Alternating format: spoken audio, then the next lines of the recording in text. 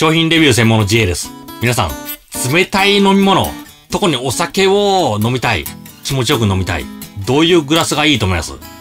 ガラス陶器実は金属製なんですよね。それ今回 E プランス様から提供を受けました、こちら。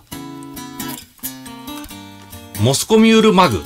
モスコミュール用ですね。ただ冷たいお酒だったら何にでも合いますね。あとこれパッケージに、モスコミュールのレシピ載ってますね。だからこれを買えば美味しいモスコミュール作れます。コップ本体こちらですね。ランダムについてるこのポツポツ。それ材質はどうなのかな？これにビールを入れて飲みは気持ちいいですね。あとは冷たいカクテル。冷たいアルコール飲料。アイスコーヒーとかも合いそうですね。まあただこれかっこいいですけど、手入れはしっかり行ってください。まあいろいろ注意事項があるんですよね。まずは熱いもの入れちゃいけない。ホットコーヒーとかはダメですね。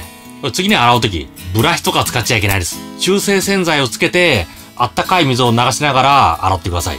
傷をつけると見た目悪くなりますからね。あ、それだと、つけ置き厳禁ですね。必ず流水で洗ってください。だから家によって、とりあえずシンクにいろんなもんつけといて、後でまとめて洗う。その中にこれは入れちゃいけない。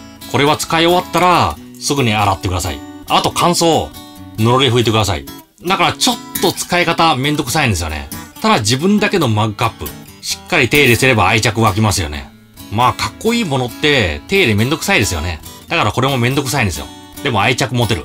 そして冷たい飲み物が美味しい。いいことが多いじゃないですか。ぜひ挑戦してみてください。e プランスの提供。今日も商品レビュー専門の動画、見てくれてありがとうございました。